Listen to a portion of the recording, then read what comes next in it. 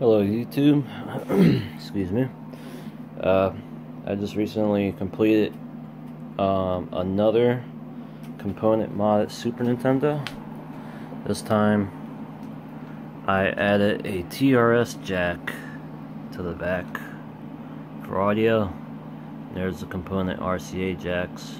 Fortunately, unfortunately, I couldn't get them perfectly straight. I did it as straight as I possibly could but it didn't turn out straight but it's not horrible. I've seen worse.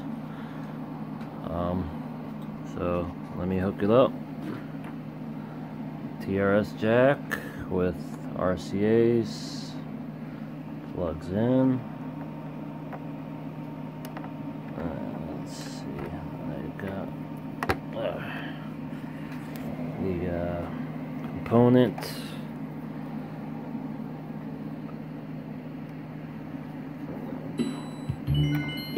Luma showing black and white right right now. Put it in the color.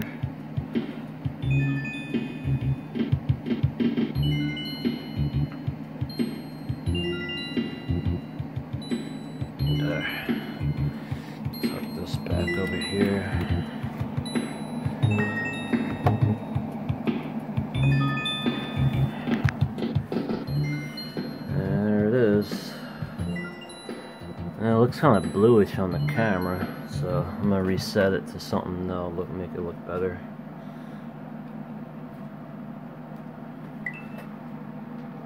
Try to hold this camera straight here. And again, these component mods I've done recently to these two Super Nintendos, these uh, two component mods, the circuit I found, that I've done recently to uh, these two Super Nintendos I have. It, I swear it looks just like the HD retrovision cables. Um, this uh, this Super Nintendo turned out to have even better colors than the last one. It's a GPM02 motherboard. It, the other one is a GPM01. I'll show it to you right here. Here's the other one I did. Uh, it doesn't have the TRS jack. I was originally going to make it TRRS component, but I couldn't figure out the pins on which plug goes into which, so I just covered up the hole. I may redo this um, and do the same thing and put a TRS for audio. Uh, I have to recap it though, because it's got wavy video. Uh, the video on this one is fine. It's uh, well, it looks kind of wavy on the recording, but it's it's perfectly clear. I can um I can uh, attest to that. Um, in person, it's clear. I mean, um, yeah. Let me show a demo of this. Should show. Sorry for the dirty screen. Yeah, it looks good on the um camera and in person too, of course.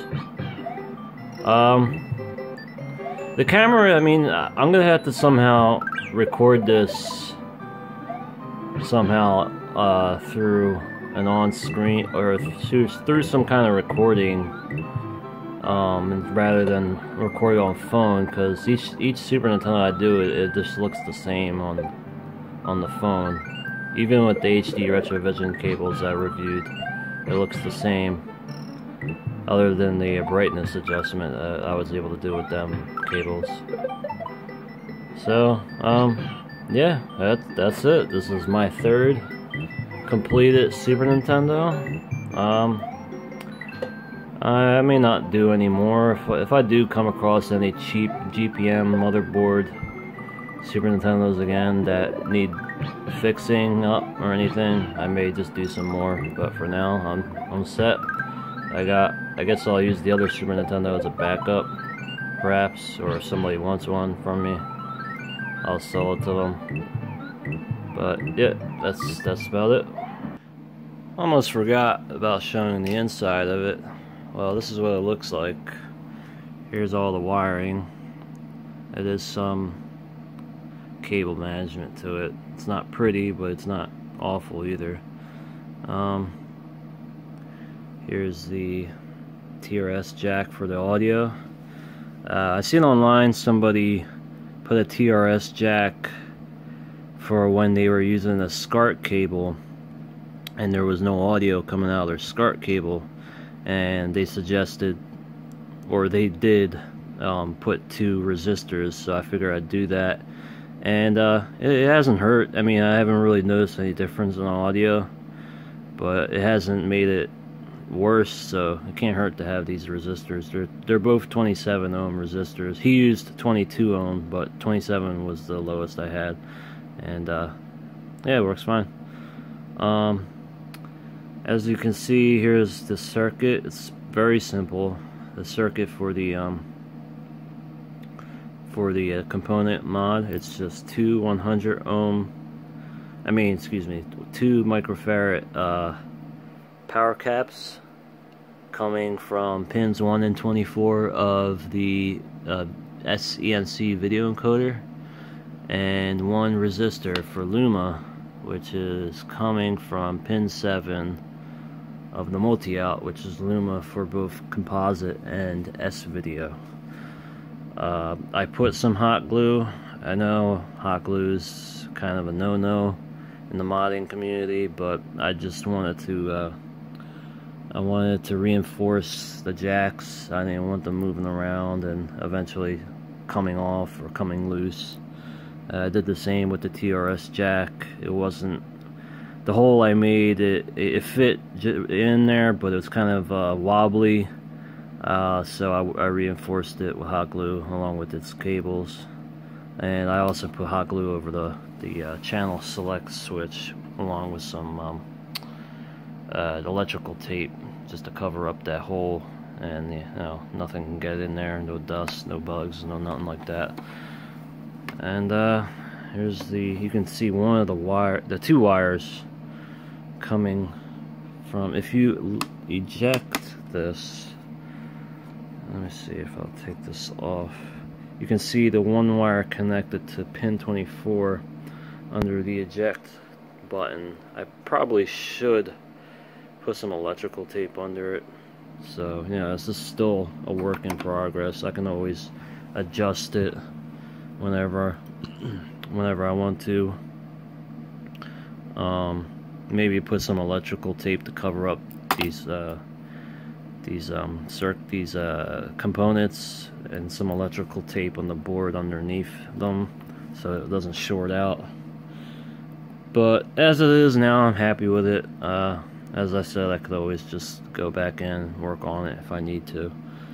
So, yeah, that's it. I mean, if there's anybody out there, well, I can't see it now because it's the lids under it. If you get yourself a GPM01 or a GPM02, a GPM02 is even better. This is what this board is. Uh, 1993, 1993 Super Nintendo board, copyright Nintendo, we'll say.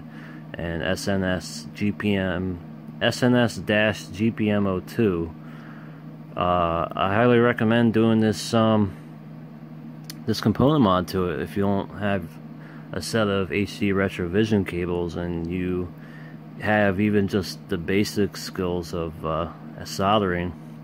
Uh, you won't have to seek out.